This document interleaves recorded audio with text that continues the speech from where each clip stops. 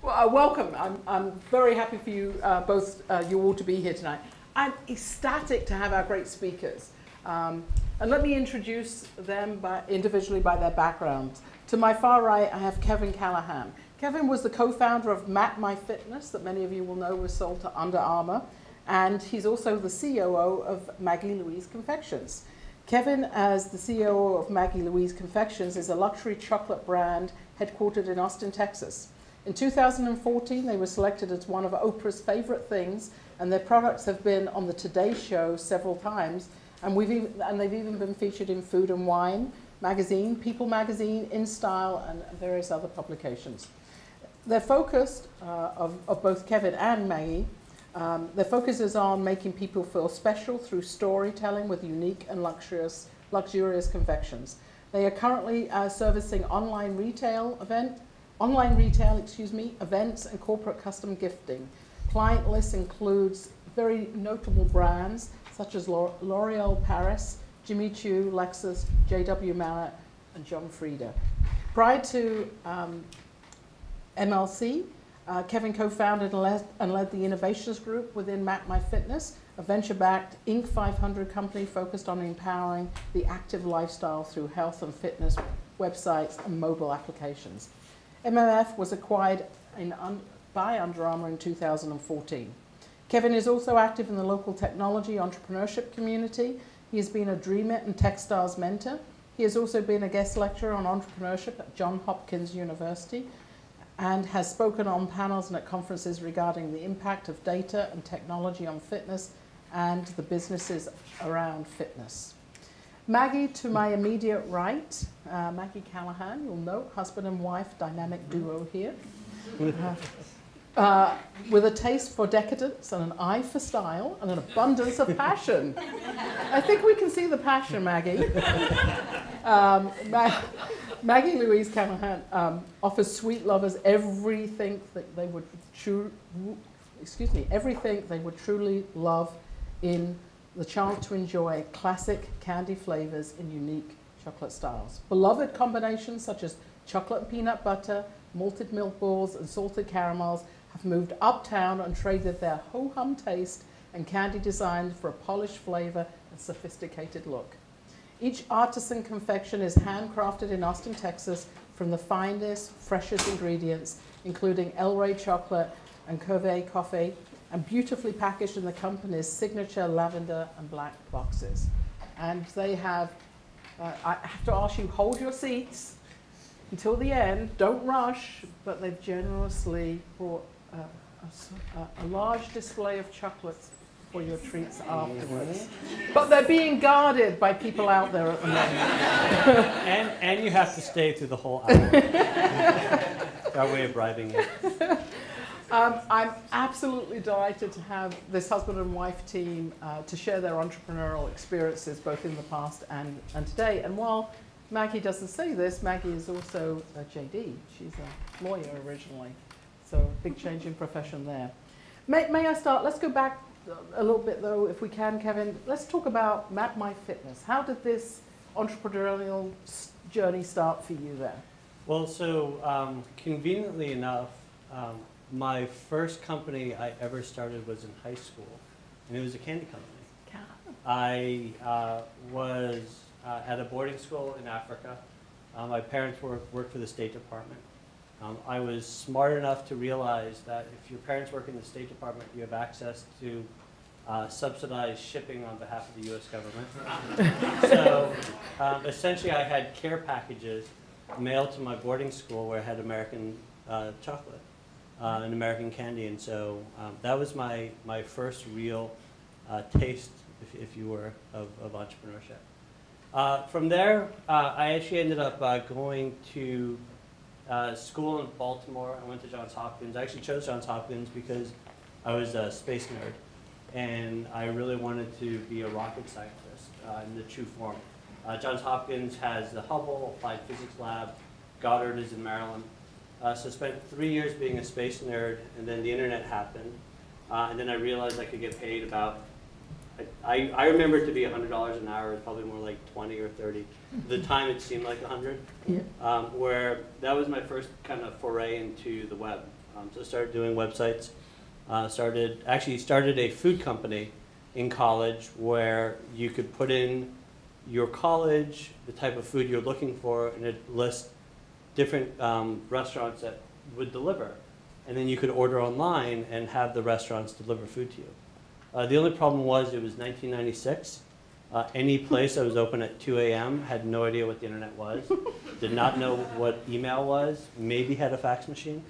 And so we realized that we could take those same restaurants and create websites for them.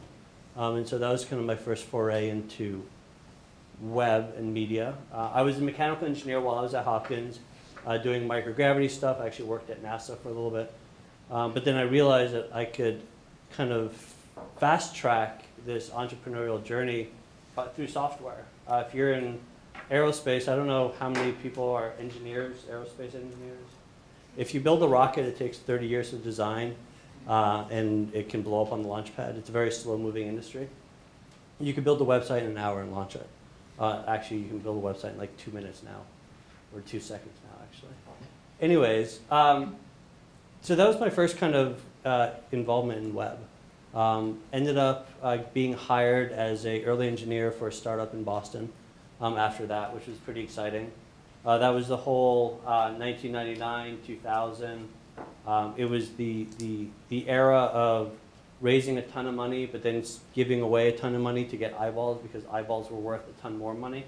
Um, kind of the internet economics at the time. That's when you made your first million. Oh yeah, so um, yeah, if I That's had important. yeah, That's if, really if- important. If I had a million dollars, um, what was that song? It was It was the Barenaked Ladies, yeah. but You sing it for us? no. but it was your first experience of having a piece of paper that said you were worth a lot of money, and then you know buying the fifteen dollar martinis based on that paper, and then it was the company went bust. Yeah. So yada yada yada. Um, yada yada yada. Um, my car was repossessed. Some credit card debt followed me around for a while. But what happened was I realized that I loved that startup life. Um, it took me to Boston where I met Maggie um, and and A Well- far more valuable. a much more valuable A long term. Oh, yeah, long-term investment. Payoff to, yet to be determined. Um, but um, but yeah, no, and then it, it, it that experience sort of really branded me as a startup person. Um, I started working for a management consulting company. That didn't stick. It was the whole suit and tie thing, um, and I ended up uh, yada yada yada. I ended up deciding I wanted to start my own company. Uh, started an insurance company which was cash based, and I knew it'd be bootstrapping, which is a euphemism for being broke and eating 20 cent burritos for weeks on end. And I figure if I want to be broke, I might as well be happy. So moved to San Diego uh, because for me, being broke and happy was living on a beach. Uh, in San Diego, didn't have a car, 20 cent burritos, but I started running. I started running a lot because running was free. Um, well, running, ru- running is free. Training for marathons is free if you convince your friends and family uh, to pay for your team and training marathon training program. But I realized that um, at the time, 2004, this is a really long-winded story about how my, my fitness got started. This but is good. 2004, training for my second marathon. Um, who, who remembers the days where you used to kind of drive in your, jump in your car and drive around the neighborhood to figure out distances? okay, so remember my car was repossessed? So uh, did not have that for me. But I realized I could create a simple website where I could click, click, click, and map my run. Um, and that literally was the, the reason um, how the site started was I had this itch, uh, which was to figure out how to map distances. Um, I had a challenge, which was I didn't have a car, nor did I want to spend the $400 for a GPS watch. And so I created a website. So Map My Run really was created because I was too cheap to buy a GPS watch. And Cheap. Too, uh, too poor. too, too poor to buy a GPS. So yada, yada, yada. Um, we sold to Under Armour uh, couple years ago for a good price. So that was kind of An how, undisclosed price. uh, uh, 150 million.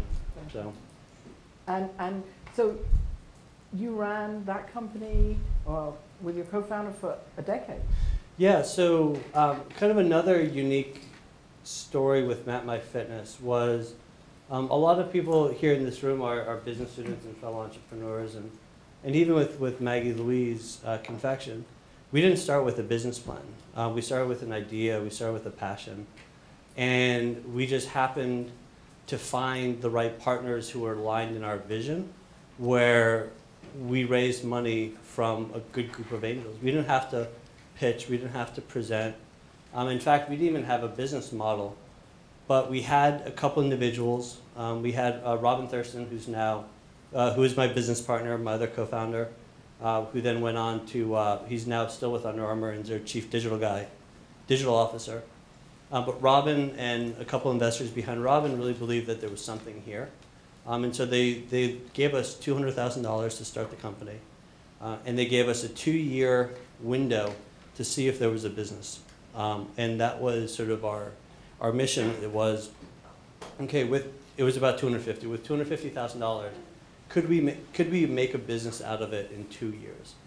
Um, and so yada, yada, yada, we sold for, to Under Armour for 150 million. We'll probably come back to this Yeah. a bit. But, but Maggie, was your passion chocolates? How did Maybe- you join Maybe this eating venture? chocolates Mhm. as a as a child. Um, always a fan of sweets, as most people are, but never once did I imagine that I would be doing this at all. Um, my story started a long, long, far away place from being in the kitchen, and um, I am the daughter of a fine artist, a painter, and a lawyer, and I've always struggled between having both skill sets. I thought I wanted to be an architect because that would be a good marriage of the two, but found it to be a little more on the, the engineering side than my, you know, aesthetic was interested in. So I went to law school. After I graduated from college, I went to Harvard and studied law, where I met Kevin. He was not at school; he was just going to the school parties to meet women. Yeah, I, I, Um, but you know, I I was there for three years, um, got exposed to the world, and decided what I wanted to do was move to New York City, work for a big firm, work on big deals, go to fancy restaurants, and uh, that was pretty much it. So that's how I spent my twenties. I worked in um, credit derivatives. I worked in synthetic CDOs. I worked on a number of products that you may have seen discussed in the movie The Big Short. Um, it was a very exciting time. And if anyone here, I know people here work on deals, it's fun, it's tons of work. When they close, you feel like a million dollars. And then you go home, get a good night's sleep, and do it all over again. So I was there for five years, and then I moved to Washington. I continued to practice law. Um, and then Kevin and I together moved to Denver, Colorado, because that's where Map My Fitness had relocated, uh, because their angel investors that Kevin mentioned were from there. And so it was 2008, and the market had basically exploded. So I knew I had to switch what I was doing. Um, I had wanted at that point to find a new career. Um, during my time practicing law, I had spent my weekends taking interior design classes, cooking classes, all the things you can do when you aren't married with kids. That's what I would do. Trying to figure out what that passion was and what I wanted it to be. Um, but when we got to Denver and Kevin was all in with Map My Fitness, it, I, it was important that I actually had a really good salary and that we were still saving for retirement and had good health insurance. So I stuck with law for four more years and I joined a startup based in San Francisco. And we were, I was their third employee, and what we were doing was being the first professional shareholder representative upon a merger or acquisition. So it was a whole new industry. It exposed me to building a company. There were 35 people when I left. Uh, I got to grow a whole team. I got to build out our process, our pricing, and all these different models. It was very interesting. But the reality, I still wasn't wasn't interested in the, the product itself. And I always tell people that when I wasn't working, I had no interest in reading about my my work, my field, nothing. It was purely something I did at the office. you didn't have a passion. No passion. I had a passion for doing a really good job, but that was not the same as being in love with the, the industry I was in. So we moved here. uh, again for Map My Fitness. We had an eight month old, and I decided it was about time. So I went to culinary school and um, Le Cordon Bleu here in Austin. And uh, 6 a.m. every day in that uniform they make you wear as a hazing ritual. um, um, but you know, while I was there, I, I was exposed to a lot of different techniques and different types of products that you see around the world. I spent my days doing a lot of photo styling and writing and development and realized I really wanted to start a business. I needed to figure out what that would be. And so at Le Cordon Bleu, um, we did about a week and a half of chocolate work.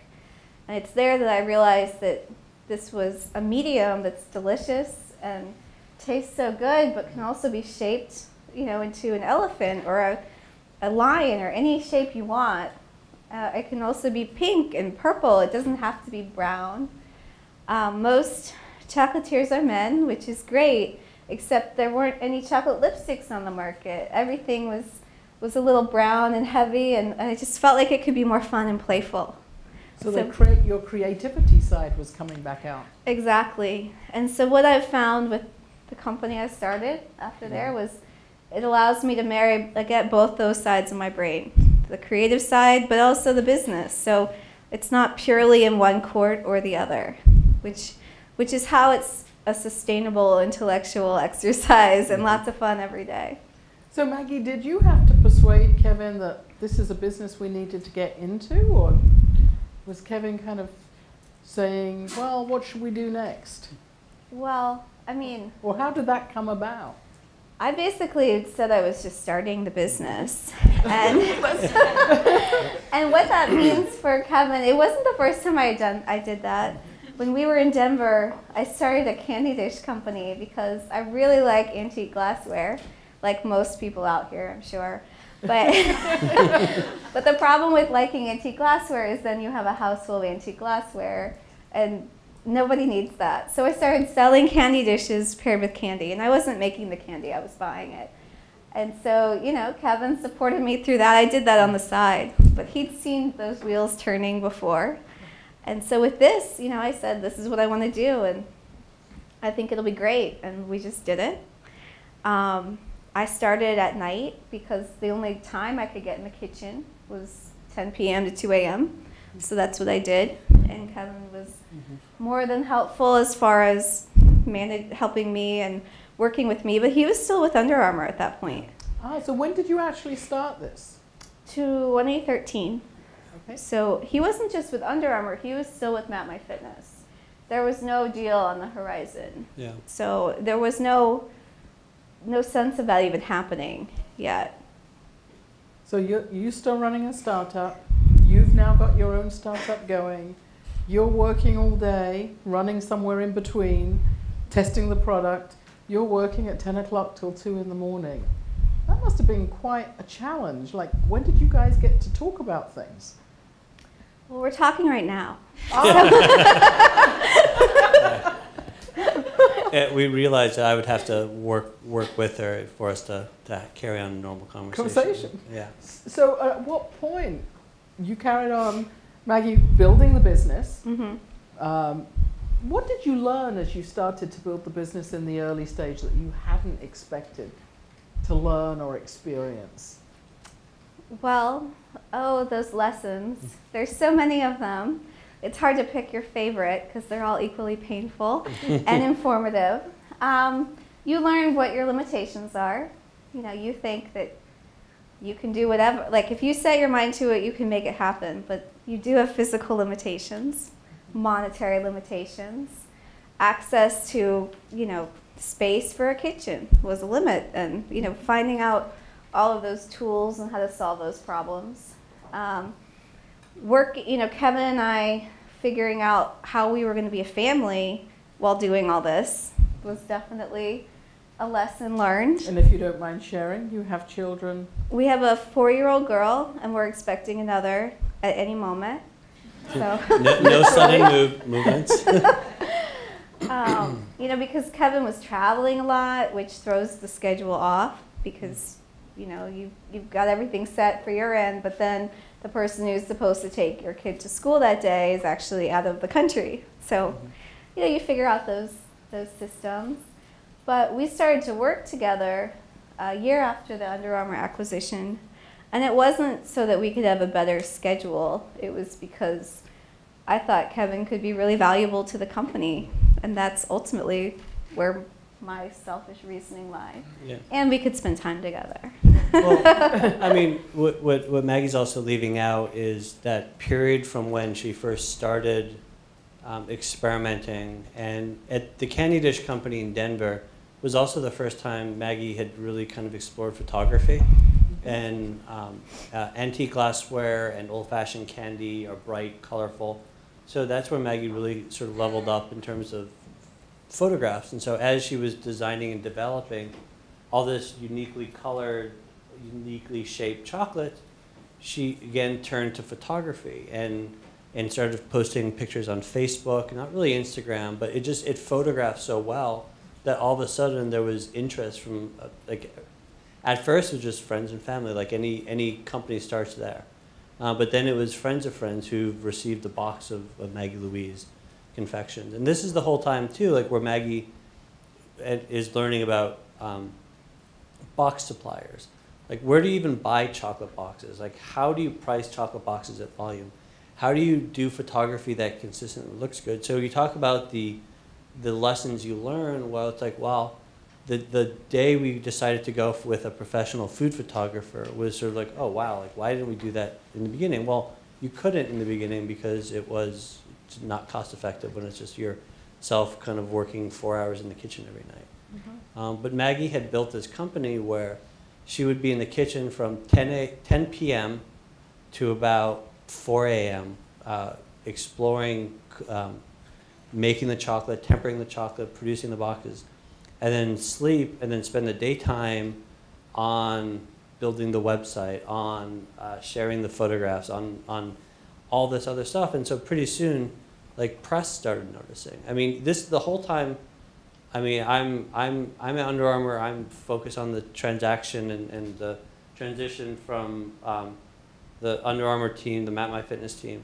The whole time, Maggie's like been building this like company and brand, and then not, then all of a sudden, Oprah's interested in selecting one of her favorite things. This was all before before I was was involved at all. I was heads down with with Under Armour. Wow.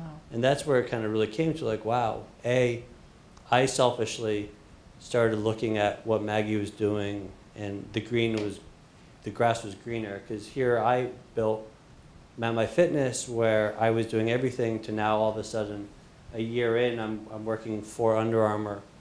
I'm transitioning my team. I'm, I'm, I'm loving the culture, but it's no longer my thing anymore. And I look to Maggie and I just see this passion and this amazing this amazing company being built, and I wanted in. I, I thought like, and Maggie and I were talking about it, where she saw this amazing opportunity on the artistic side of selling chocolate. Like no one was positioning chocolate as a gift, as an artistic sort of medium.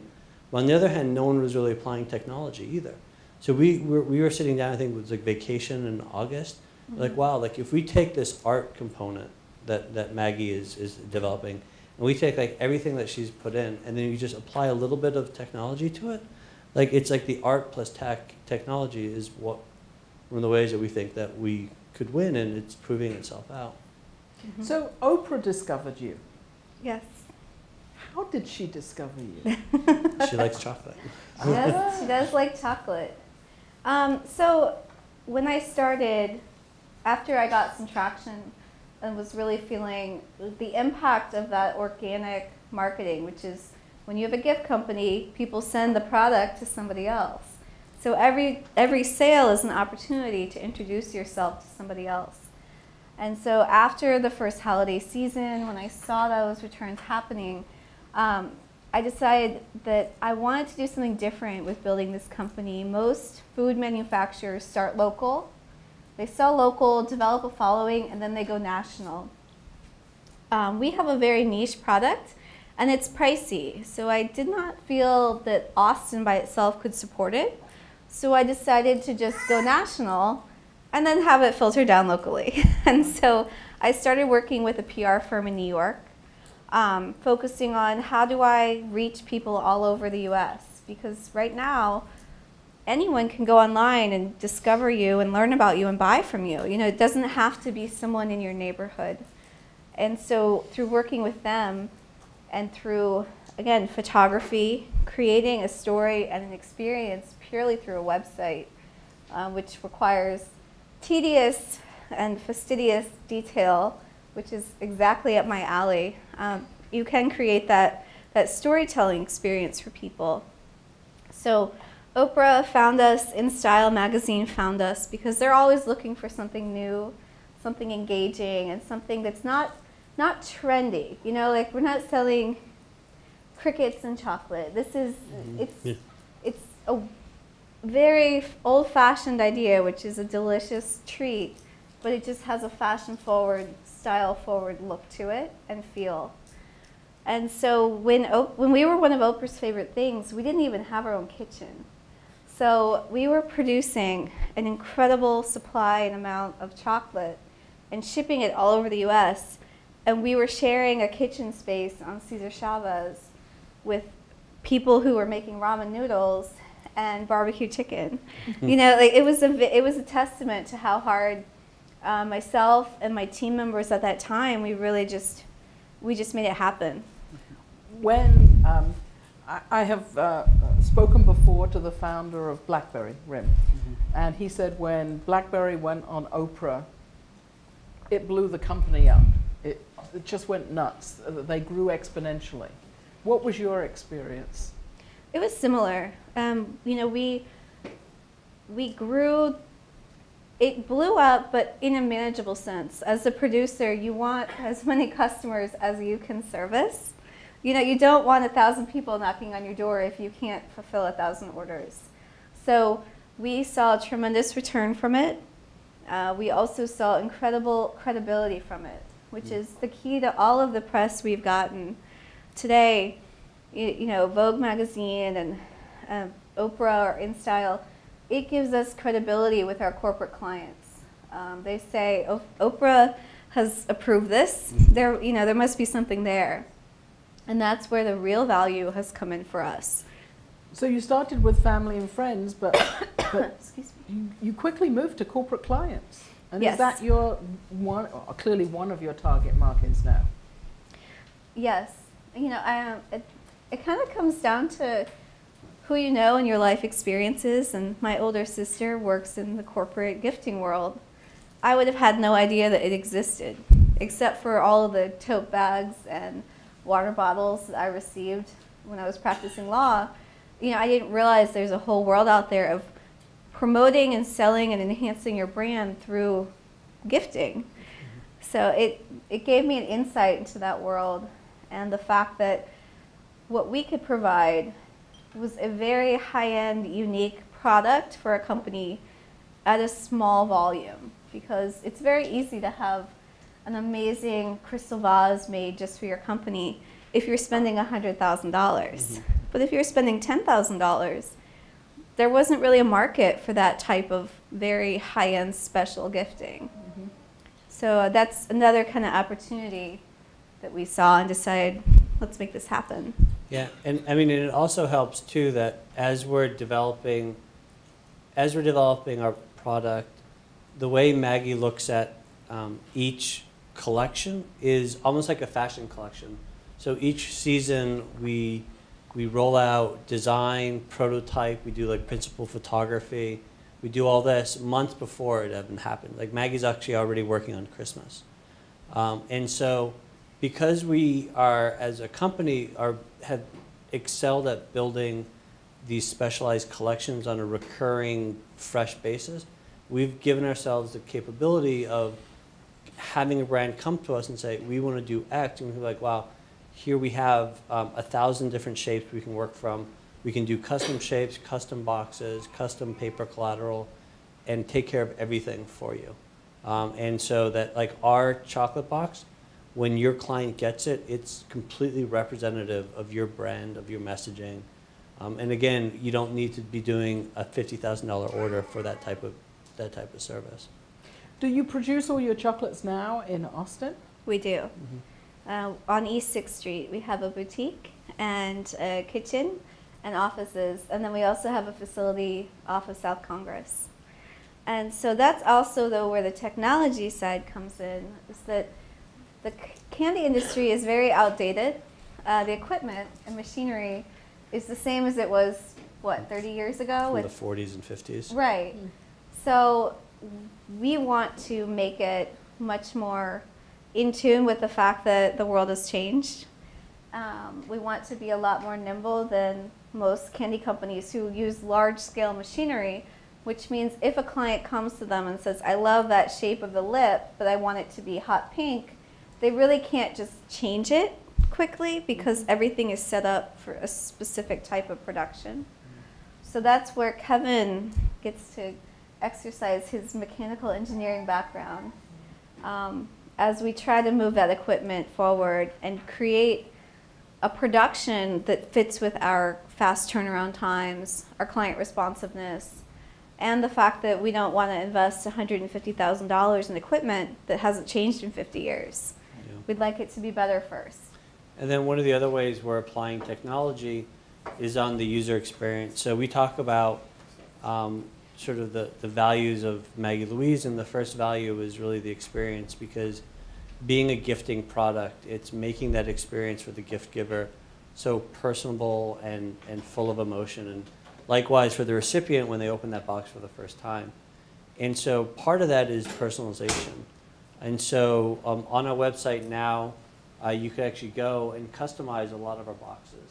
Um, we have an online personalization tool where you can sort of select letters, spell things out. And I mean, we found, I mean, even last year where we didn't have these online tools, like almost a third of our, of our uh, consumer sales was a personalized, like personalized in some way, shape or form. Um, that's either colors or instead of like I Heart Mom, it's replacing um, like Casey Heart MC.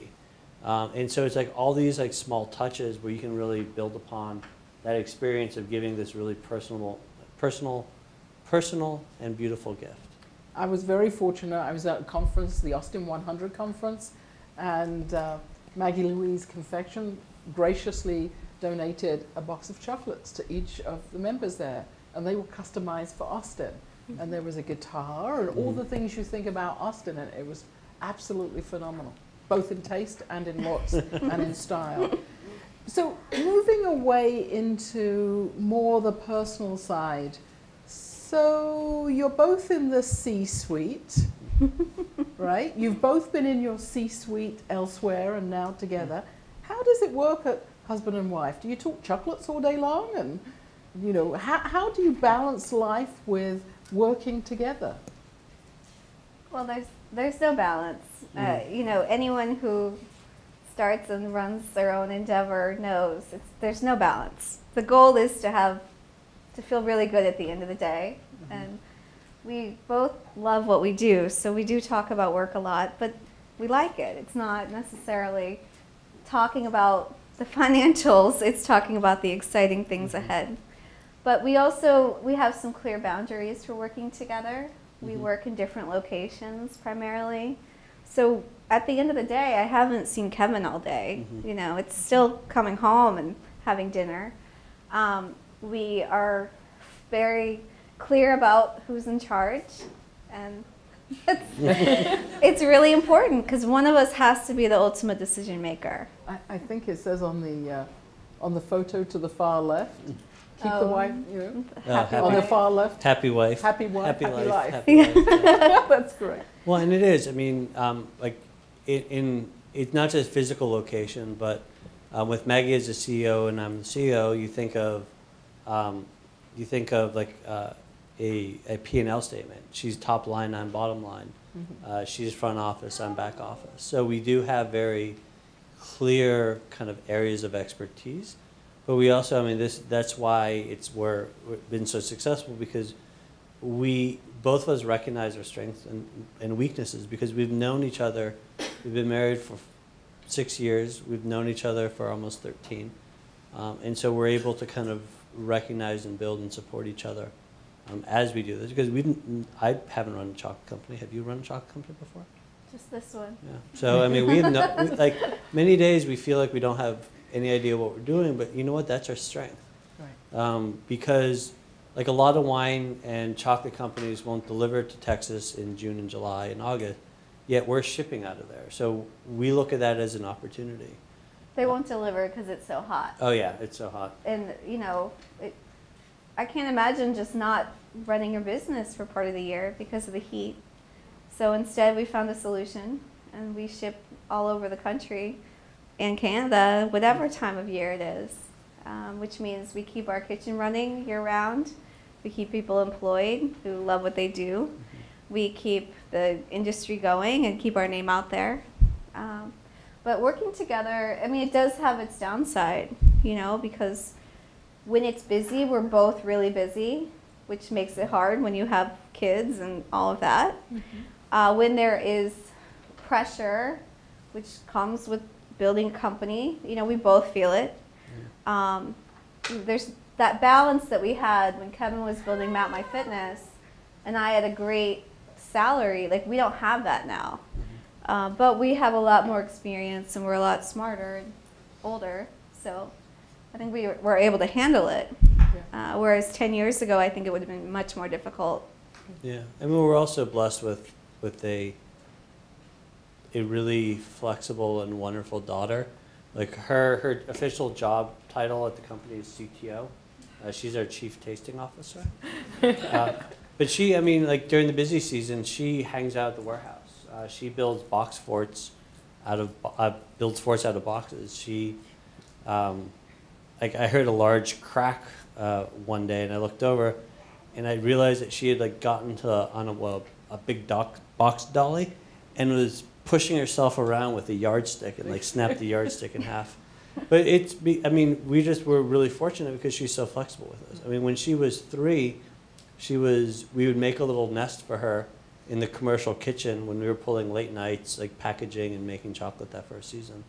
So um, it is, but but that's how Maggie and I are. I mean, we always treated ourselves, even when we were doing different things. When she was working with her startup in in uh, Denver, or when I was working at My Fitness, we always treated our relationship as a true partnership. It wasn't sort of like I had my family life and then I had my work life. It was like we had our lives, and that included sort of the, the professional and the personal and the family and all Mhm. that. Finding those unique partnerships, whether it's husband and wife or another partner, is unique in life.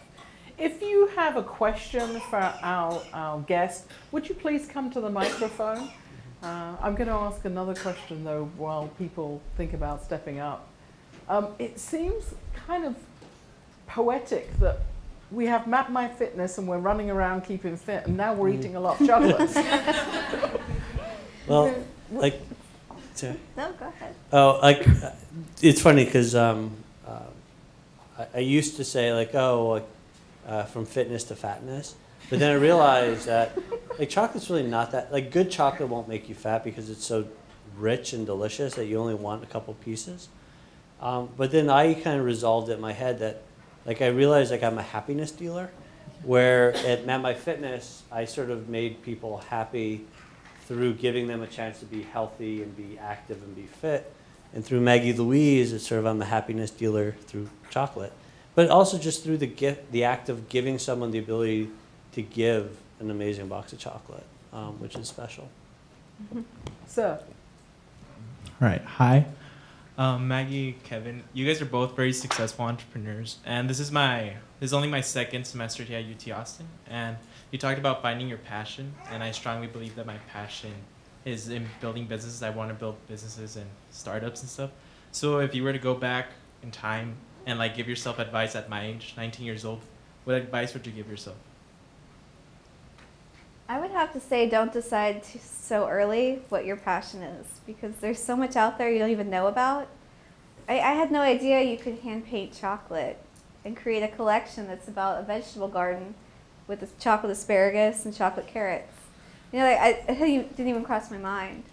So just being open-minded and not deciding you know exactly what the world will hold for you will kind of give you the chance to be exposed to lots of different opportunities you know, I didn't realize I had a skill like this until I was in my 30s. You know, I, I only then did I discover that about myself. So keep that in mind as you pursue what you want, that maybe you just haven't also realized there's something you love even more. Yeah, and, and I would say the same thing. I mean, I didn't go through college being someone who was rabid about um, being outdoors and running and being fit. And You did not. I did not. Many years I did not. But it took me living in San Diego, looking at kind of my life and realizing, you know, like I love being outside, I love running. And it was like all of a sudden, it was like, wow, like I just love this feeling. And that became my, my passion. And then I was able to sort of take that and pour that into Map My Fitness. Um, and it wasn't something like I didn't, grad, I didn't wake up one day in, in my early years and be like, ah, I'm passionate about running. I'm gonna create a running company. So just try lots of things. Thank you. Welcome. So, Thanks. Uh, this is mostly for Kevin, and I've got a high level part of the question and then a really deep personal part of the question, which if you dodge it, totally cool. Uh, but it, it has to do with, with the map my story from a revenue side. Um, you know, pre-acquisition, especially in the early days. How did you carve it up, and how did you? Could you tell me some of the kind of ups and downs in your journey of being mostly a non-revenue based company, and what that meant for survival, how much you gave away, that sort of thing. I'd just like to hear that story Um, the deep personal part, and then I'll sit down and just listen, mhm. is if you wouldn't mind ex- sharing like some of the actual percentage equity ownership of the company on day of acquisition or with uh, your current company with your wife, that would be really intriguing to me. Ooh, ooh. That is beyond personal. I was expecting a totally different type of personal question. um, so I can start with the easy question first. Well, the easy question is with Map My Fitness. I mean, we were uh, eight years down the road. Um, we had a angel round, a million dollar friends and family round, um, an AV round was our Series A, which was about five million, and I think our Series B was about fifteen million. I, I don't remember. So if you can imagine like all the different principles. So as someone who had hundred percent of Map My Run when I first started, to then bringing on a partner for Map My Run, and then bringing on my third partner for Map My Fitness. Um, at the end of the day, um, I had less than twenty percent of, of um, My Fitness when it sold. But you know what? I would rather have that than zero percent of, or hundred percent of nothing, right? So it's it's the types of decisions you make. Yeah, sure, I could have made different decisions to to maintain more of my position and and, and all this. But at the end of the day, like I felt like I'd made most of the right decisions, and I was completely happy with the outcome. I was really happy with my investors. Um, one of the things I tell people who are starting companies is don't look at your investors as wallets.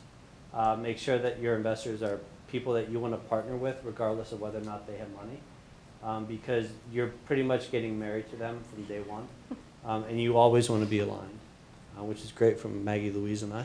Yeah, it, it is very helpful in that context because we're completely on the same page with goals, ambitions, and outcomes.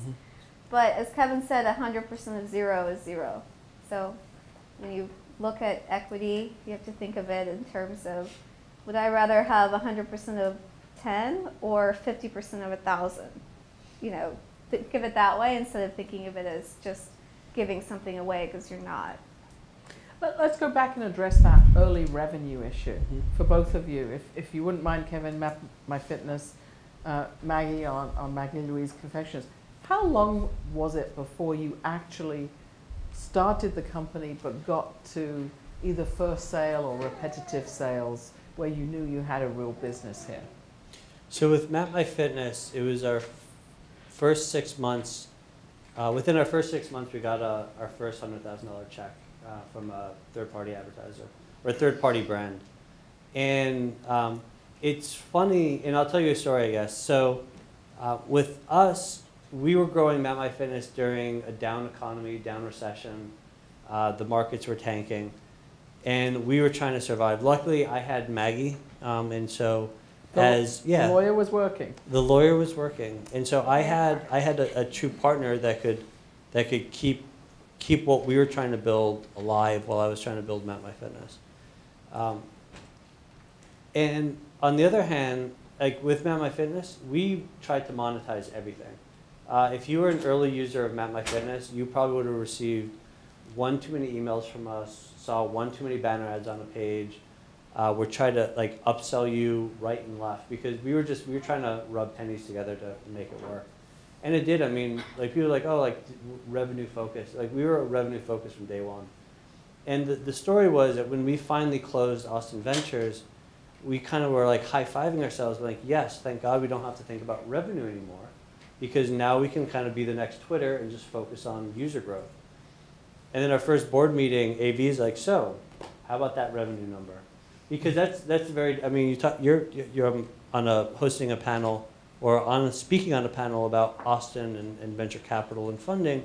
The Austin market has always been focused on revenue and results first, versus like Silicon Valley. In a lot of ways, you'll have some markets that are very focused on growth first, revenue later. Um, so we our feet were always held to the revenue pools, but that made us a better company. That made us sort of a, a better partner for someone like Under Armour to come in because not only did we could we execute in terms of building this great brand and building this great vision, but we could actually show we can make money from it as well. So- And Maggie? Uh, I had I had revenue lined up when I launched the company, and that was again through my own network, um, through not just family and friends, but I had been in the business world for you know 12 years, and had some friends who'd fi- we'd finally reached that level where they were buyers and they were mm-hmm. making decisions and spending money and had a budget, and so from day one I had revenue. I did. Did I have a margin that was good? No. You know, I had no equipment, was doing everything by hand and buying 10 boxes at a time. So the margin came later, but the dollars in the door definitely from the very beginning. So, if, if I may, where do you think you're going to take the, the family company now? Hundreds of millions of dollars. Hundreds of millions of dollars? that, no, I mean, what, I mean, Maggie can build on this, but I mean, we really see Maggie Louise as a brand being a luxury gift giving brand, and we see an opportunity with confections now. Mhm. Um, but that's not to say that it sort of will stay in confections. Oh. and we've I think there was a hint there. Yeah, there's a world beyond just chocolate, even though you wouldn't know it based on our life. Um, we've been able to reach a lot of people through selling directly to client to customers because right now we don't wholesale, so you won't see us in any stores. You'll only see us on our website or through a couple of third-party channels um, like Domino Magazine and uh, Garden and Gun. But what we want to do is reach even more people. I mean, we've had a lot of success with lots of customers, but there's millions and millions and millions of people out there who haven't even seen what we do yet. So I would like to reach all of them, uh, continue creating at a very high speed, which keeps our current clients really engaged in the product and growing so that we're not, I want to stay in Austin as where we create and where we build and grow, but I want us to reach more parts of the country mm-hmm. as we do that. Maggie, would you give us an idea if, if it's viable of the kind of number of boxes of chocolates or pieces of chocolates you shipped last, last holiday season? I think it was, 500,000? no, I think it was like 200,000? Yeah, 200,000 chocolates last. Chocolate pieces, not boxes. Two Well, hundred they might be individually boxed. Yeah. Yes. Whoa, that's a lot of yes, Yeah. it's a lot, especially when you think about the the number of decisions and actions that go into each of those chocolates from talking to a customer to taking a picture of it to tying a ribbon to making the chocolate. It's quite it's To- to shipping lot, it out. It's a yeah. lot. Our- Sourcing product. sourcing Yeah. product. Our busiest 12-hour stretch during last holiday season was 1,200 boxes in 12 hours. Twelve hundred boxes, wow. Yeah. It's a whole different perspective on things. Sir, Thank you, Maggie and Kevin. Uh, as, as far as Maggie Louise goes, uh, how do you ensure that your technology is current?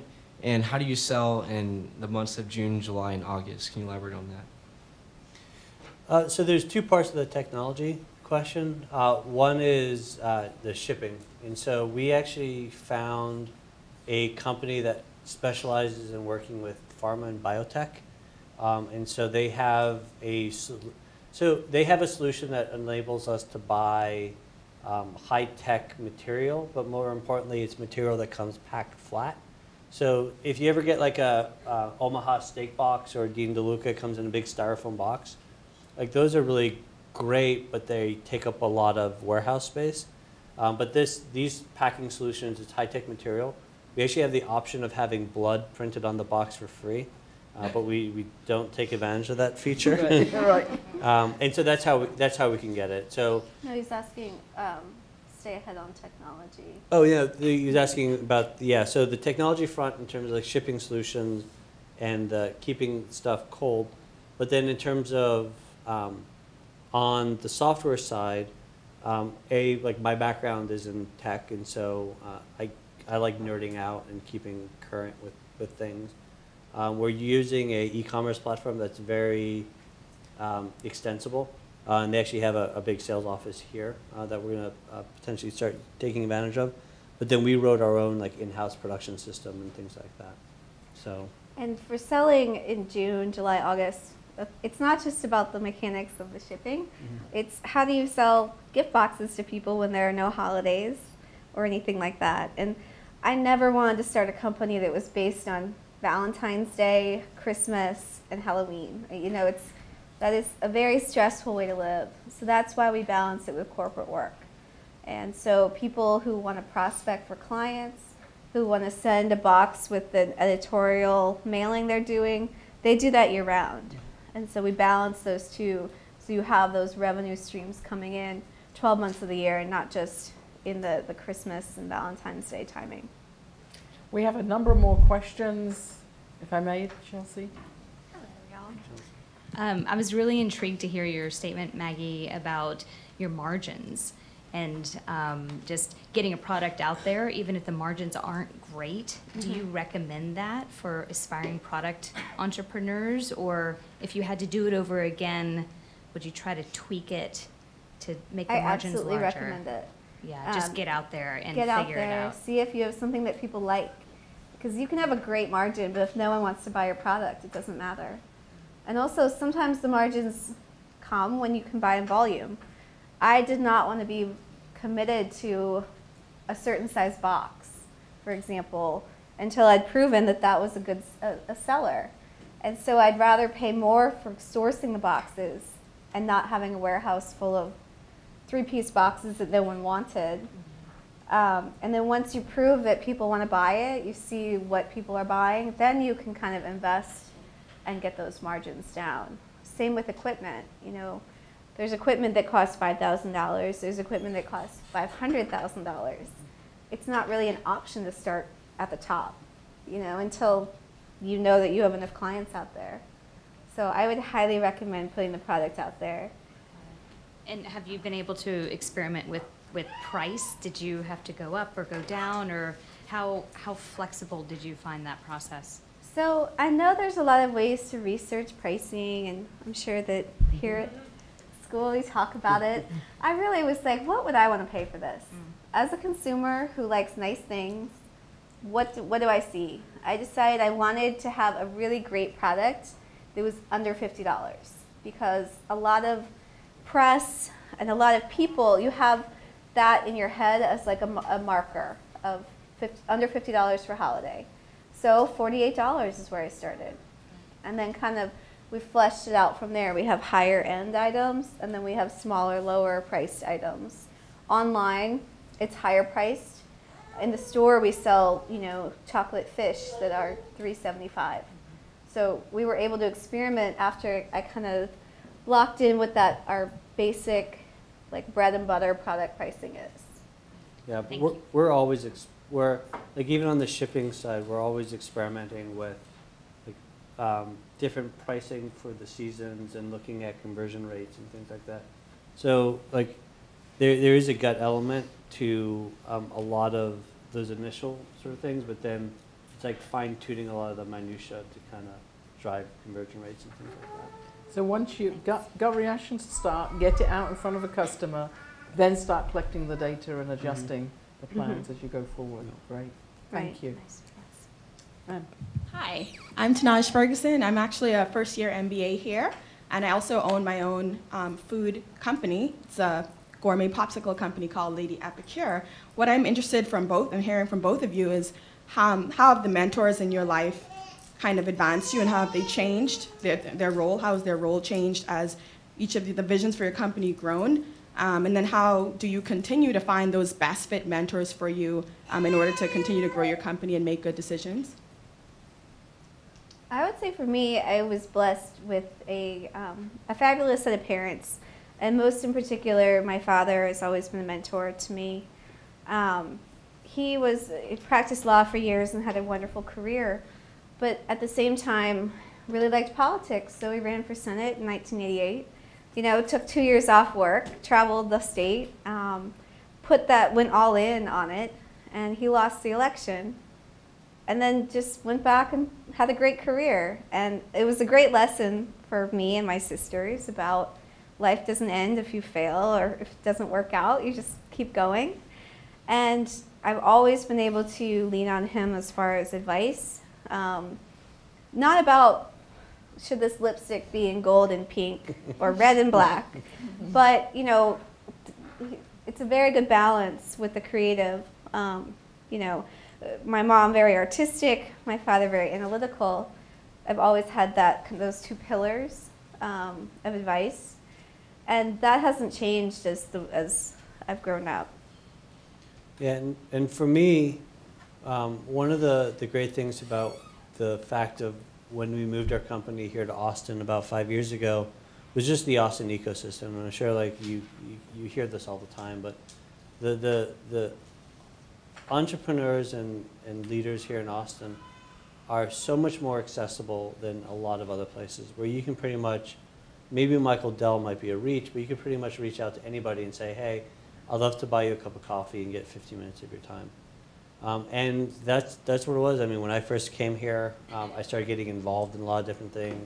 I met Laura through um, Austin Technology Council, which I, I got involved with. Um, but then all of a sudden one day when I woke up and, and I was at Maggie Louise, I realized I had been living in this bubble of tech. And I looked up and I realized like, wow, like the Austin ecosystem is so much bigger than just tech. You have all these entrepreneurs doing all these amazing things in, in fashion and beauty and food and, and, and vodka. And it's like, and, and it was a chance almost for me to build like a new kind of group of, a new group of friends. Uh, Maggie and I joke, it's like my little friends, like when I go to these happy hours.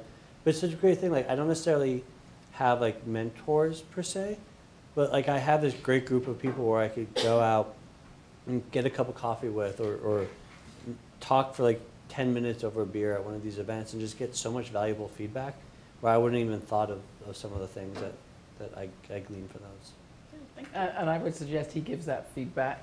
It's a two-way street. Mhm. I've Yeah. seen Kevin give and take both ways, so thank you. The last question for tonight, I think we have a gentleman here. And then we will have a reception, so you can talk to our guests. Hi, So- thanks for uh, sharing your knowledge with us. This has been great. Uh, so I coach uh, people how to start and grow their own business. So I'm always on the lookout for like cool growth hacking strategies, and I found a lot of cool stuff. But I'm wondering, in your guys' experience, is there one or two strategies that have been like, let's try this, and then you just got, you know, way more customers than you ever expected, or are there certain strategies that are working right now? Well, I mean, it's hard to not want more customers. You know, it, it's hard to see that as a negative thing, except, as I mentioned earlier, if we can't fulfill on it. Um, I think I haven't really seen anything that I thought was too successful. Um, but sometimes you try things and they don't stick. Um, but that doesn't mean they didn't benefit you in some other way that you weren't that you don't realize.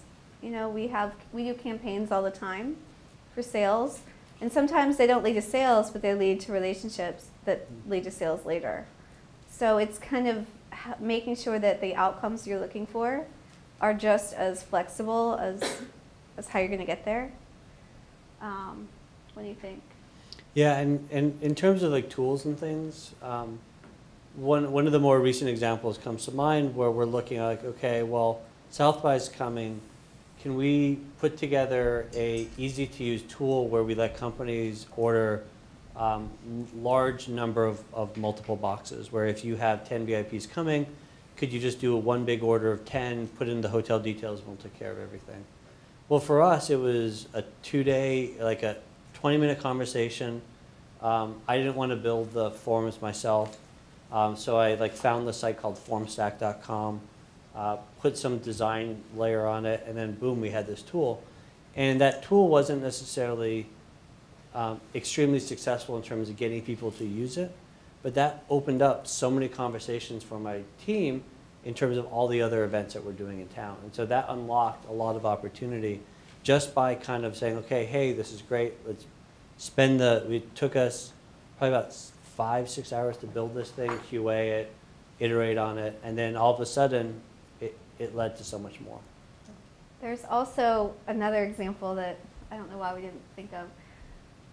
Four days before Christmas, um, we did not, usually you know about press before, and you can prep the team, scale up, get ready. But four days before Christmas, um, Hoda from Hoda and Kathie Lee chose one of our boxes as one of her favorite things. And first of all, it wasn't one of our boxes, it was a corporate box we had created for Laura Mercier. So it was a box that we don't even sell, but it was ours. We made it. And so it was Monday before Christmas, and we started getting insane traffic and sales on the website and phone calls to the store. And we didn't even know that this was happening. Um, they had the box on the show with a price attached to it. And like I said, we don't even sell it. And so, you know, it was a phenomenal day for us for sales because luckily Happy we sell. Day. Yeah. I mean, like, luckily we sell like a ton of different makeup boxes at, at price points that were actually lower. So that's always good. You want to say, we don't have that, but I have something lower priced. Um, and we, you know, it was fabulous. But for a lot of our team, it was really, really disconcerting to not know that that was going to happen, to not be able to anticipate it, to go to, to work like three days before Christmas thinking we're just going to clean up today. and it was like so crazy. You know, sometimes you have to think about how your team's going to respond to that. It's not just about the revenue and the sales that come in. It's about the, the morale and, you know, making sure people knew that we had no idea this was happening. I never would have promoted on national TV a box we don't even sell. Like that's just not good. so that was that was an unexpected positive sales outcome, but it had some some negative impacts as well. Uh, Well, I know we have lots more questions. Um, very unusually, we have gone over the 60 minutes that I cut everyone off at, uh, kind of by almost 10 minutes. But I think you'll join me in thanking our guests for this wonderful talk. And I'd like to encourage you to join our dynamic entrepreneurial du- duo here or outside for any other individual questions you might have. Thank you for being here. Thank you. Thank you.